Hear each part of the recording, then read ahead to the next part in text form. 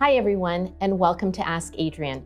My name is Adrienne and I am the Learning Development Specialist at Compugen Inc. I will be fielding questions from educators across North America on how to create an inclusive and engaging learning space.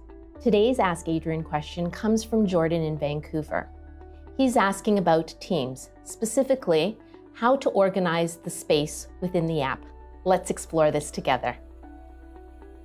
To launch Teams, go to the app launcher, the waffle found in the upper left-hand corner, and click on the Teams tile.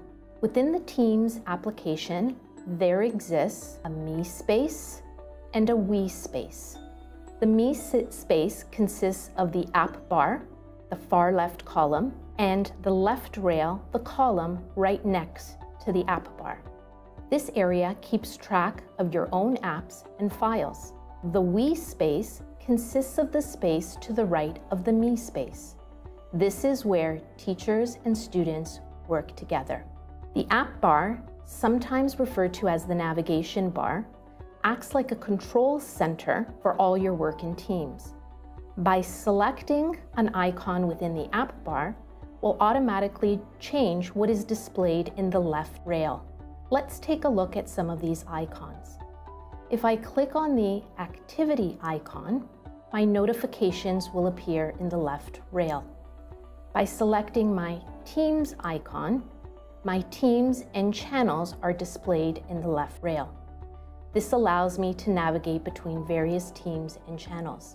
We can change our view of Teams by clicking on the bottom area within the left rail under More Options and be able to switch from List View to Grid View. To get back to List View, simply click on the ellipses, switch view, and we can switch back to list.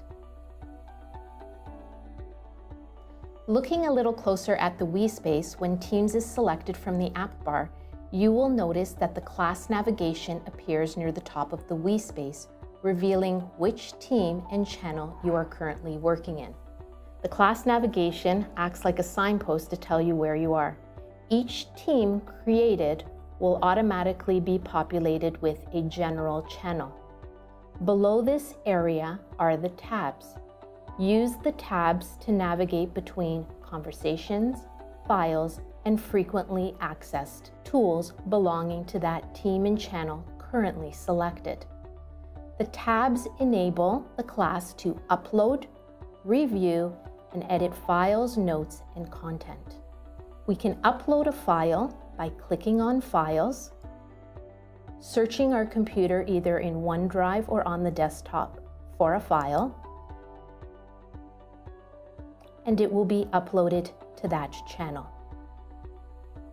The canvas, the area below the tabs, is the space where you work and create no matter where you are in Teams. You will notice that the canvas keeps changing whenever a different app is selected in the app bar. At the very top of the We space is the search bar. This is where you can search for chats, files, and more. Let's take a look.